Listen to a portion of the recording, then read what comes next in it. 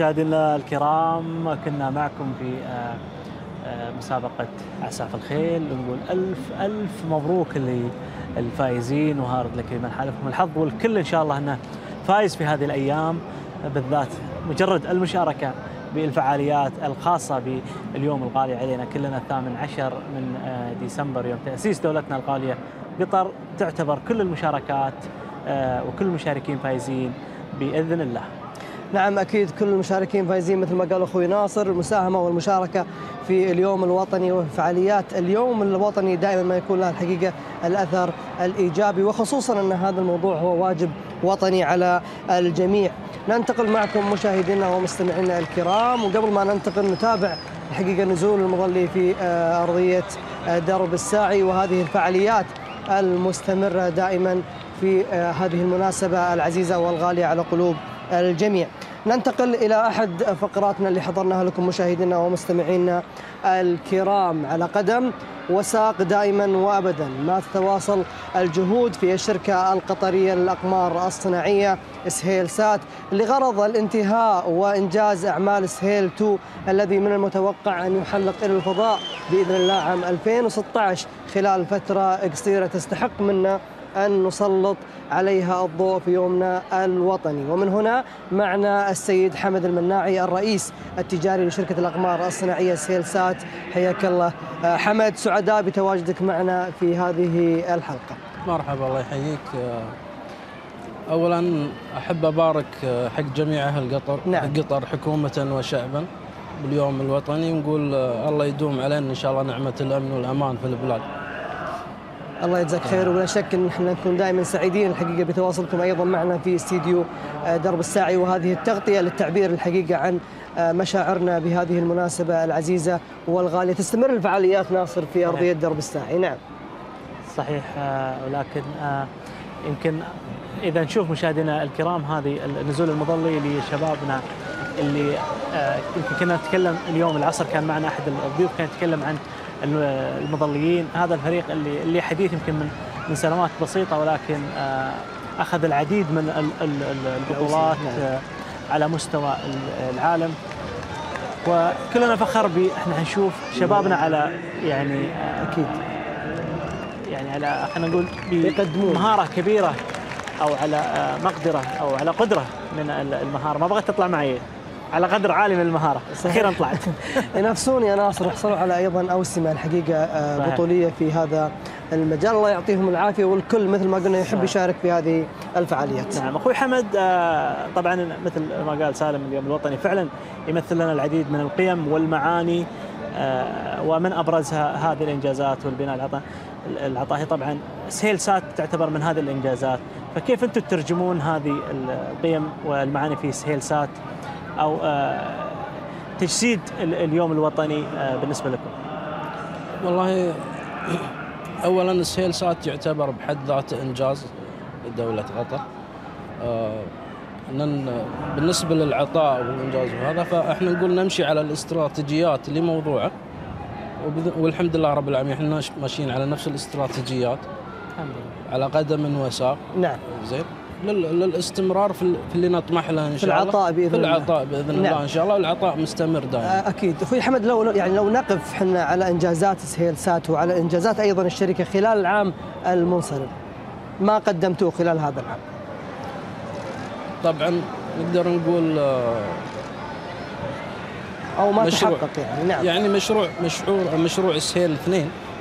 آه، نقول ال- التقدم في المشروع نعم. هذا يعتبر بحد إنجاز. ذاته إنجاز يعني إحنا قلنا من التوقيع إلى إلى الانتهاء سنتين وهذا حد ذاته تحدي لنا إحنا يعني. أكيد فلحد الآن لحد الآن المو... الم- أو الموقع اللي وصلنا له في الإنجاز زين يعتبر آه، شيء جميل بالنسبة لنا ك يعني في وقت قطري. قياسي في وقت قياسي إن شاء الله ونطمح إن إحنا نواصل ونستمر ونخلص على نفسنا بإذن الله إن شاء الله أخوي حمد وهذا ما نتمناه يعني يمكن أحدث الإنجازات هو مشروع سهيل. آه، ساتو راح آه، نرجع ناخذ في التفاصيل أكثر. لكن أخوي حمد يمكن نشوف ويتابعون مشاهدينا الكرام. آه، احتفال ال- الجمهور وتواجد ال- ال- الشعب بعدد كبير في فعاليات درب الساعي. ونشاهد ال- الأدعم. نشاهد أيضا شعار اليوم الوطني. ينزلون بالمظليين بين ال- ال- الجمهور. يعني مثل هذه الاحتفالات والفرحة آه، سالم تجسد ال- الكثير بالذات إنه شوف شوف الادعم أكيد. الله. أكيد ناصر جعله يبطي جعله يبطي هو يرفرف يا رب العالمين. اللهم امين وبإذن الله إنه راح يبطي مثل ما ذكر ناصر وهو يرفرف بإذن الله في آه، هذه المناسبات العزيزة والغالية وفي كل المحافل تتواصل الحقيقة الفعاليات بكل أنواعها. في أرضية درب الساعي وأنا أتوقع أيضا أن الفعاليات في جميع أرجاء الدوحة وخصوصا أن غدا هو الثامن عشر من ديسمبر. آه، ذكرى مؤسس كيان هذا البلد العظيم الشيخ جاسم بن محمد بن ثاني طيب الله. ثراه نرجع أيضا إلى ضيفنا الكريم الأستاذ حمد المناعي الرئيس التجاري لشركة الأقمار الصناعية سهيل سات. ونرجع أيضا إلى سهيل آه، واحد وكذلك سهيل اثنين وما الفرق بين سهيل واحد وسهيل اثنين؟ أو ما ما يميز آه، سهيل واحد عن سهيل اثنين؟ سهيل واحد وسهيل اثنين نقدر نقول ال- اللي يفرق آه، موضوع التقنية. الاثنين إحنا نقول نقدر نقول إن الاثنين على مستوى عالي من التقنية لكن سهيل اثنين راح إن شاء الله يكون أعلى خصوصا في موضوع آه، راح مقاومة يكون التقنية راح تكون أعلى في أعلى، موضوع نعم. مقاومة التشويش تشويش نعم بالإضافة إلى وجود ساعات قمريه أعلى لتخدم ال- البلد. القنوات التلفزيونية القطرية أو أو الدول العربية اللي تغطيها ال- المنطقة الجغرافية اللي تغطيها القمر الصناعي. اللي هي اللي هو سهيل 2 يساهم في تنمية أيضا آه، رؤية قطر الوطنية 2030 أ- أكيد. يعني أنا خلنا نتكلم عن الشركة بشكل عام. يعني إحنا نعتمد على ال- الركائز الأربع ل 2030 يعني أنا خلنا أقولها لك باختصار. مثلا لو أتكلم أنا عن التنمية الاقتصادية فأقول لك أنا والله سيلسات مصدر من مصادر تنويع الدخل. أكيد. لو أقول لك التنمية البشرية فالحمد لله إحنا عندنا مبتعثين. عن طريق السيلسات. جالسين نساهم في الموضوع هذا. نعم. التنمية الاجتماعية يعني علاقاتنا الدولية هذا نقدر نقول إنه والله هذا تنويع في الثقافات. نطلع الثقافة القطرية. التنمية البيئية ال- تقنيه الأقمار الصناعية تخدم البيئة بشكل آه، كبير. يعني ممكن نستخدم بعض الأنظمة بعض كذا للحفاظ على على البيئة. نعم. نعم.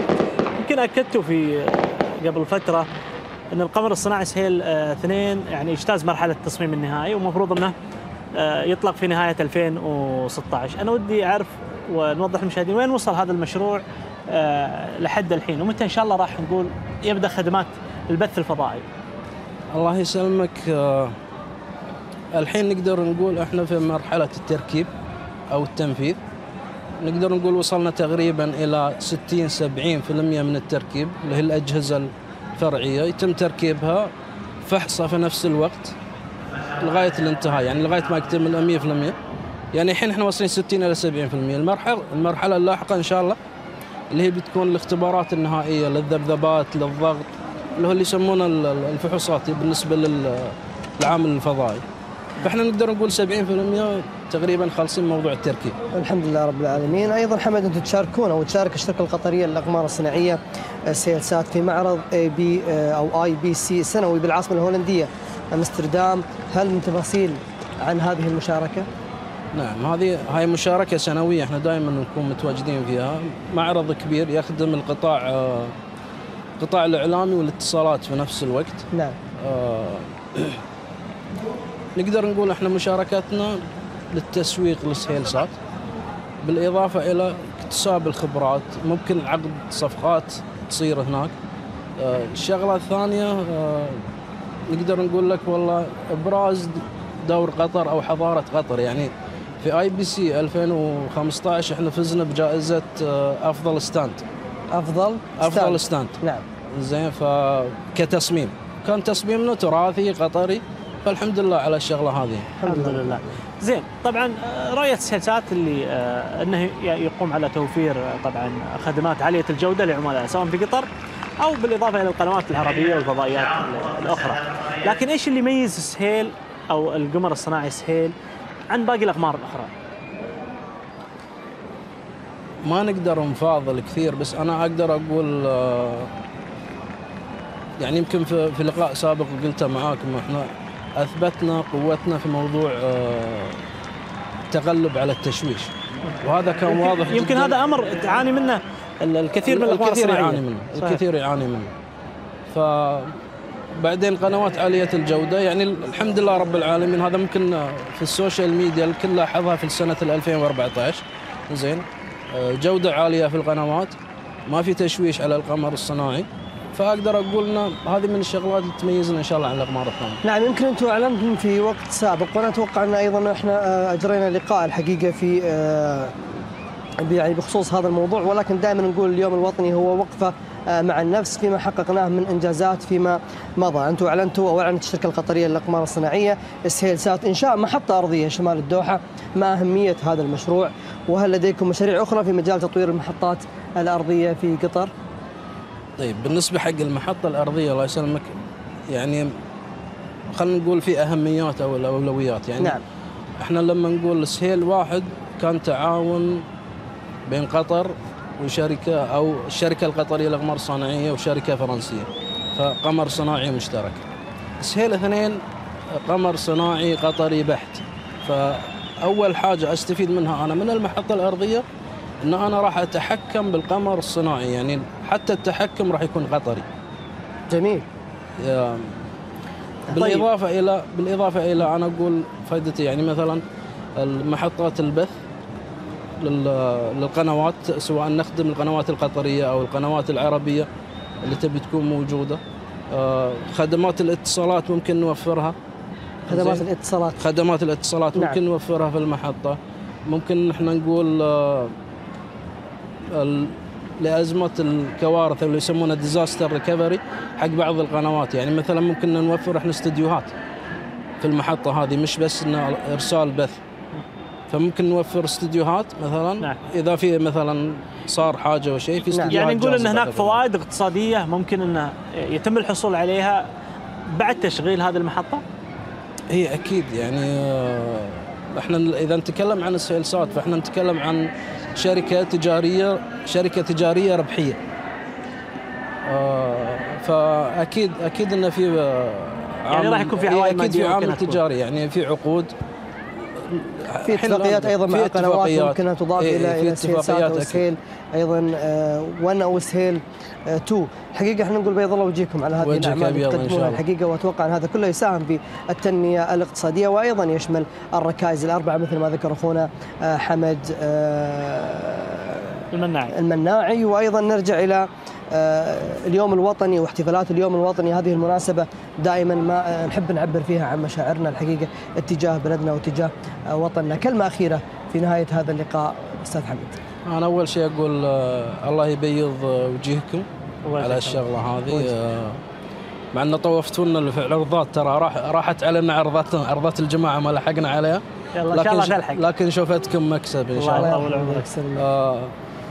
أكيد يعني اليوم الوطني الكل يفخر فيه الكل يعتز فيه صحيح. آه، الواحد يعيد حساباته في اليوم هذا أكيد صحيح. شيء طبيعي ما. قدم وما سوف يقدم اي أكيد نعم. يعني دائما مثل ما قلت أنت واقفه مع النفس الواحد يحسب حسابه إيش اللي إيش اللي قدمه المفروض إنه يعطي أكثر إن. شاء الله. فعلا بيض الله وجهك. وجهك نعم. أبيض. السيد حمد المناعي المدير التنفيذي للشؤون التجارية لشركة الأقمار الصناعية سهيل سات شكرا لحضورك معنا ونتمنى الله إن شاء الله لك التوفيق. ونتمنى إن شاء الله إنك آه، تلحق إن شاء الله على الإخوان. إذا ما لحقت عليهم اليوم عاد الله لك إن شاء الله. آه، بكرة. واسال الله لك التوفيق شكرا جزيلا لك شكرا بيض الله وجهك الله يا. محمد الله وسعداء الحقيقة. بتواجدك معنا في الله هذه. التغطية وأيضا بالتعبير عن مشاعرك الجياشة إذا مشاهدينا الكرام تستمر هذه